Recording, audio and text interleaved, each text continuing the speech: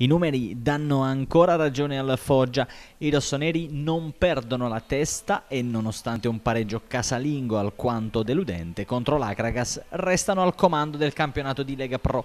I siciliani sono apparsi squadra organizzata ma tutt'altro che irresistibile.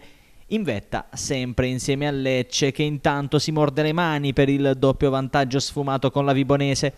Addirittura un punto guadagnato su Matera e Juve Stabia, che hanno perso le rispettive gare con Siracusa e Regina.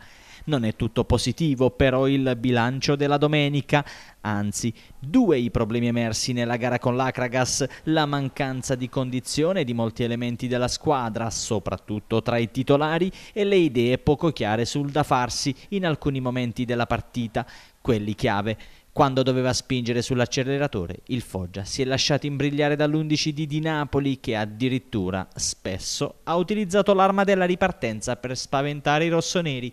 Chi pensava che questo campionato fosse di basso livello e che le partite contro le cosiddette piccole fossero di semplice lettura per via della differenza tecnica, probabilmente si sbagliava.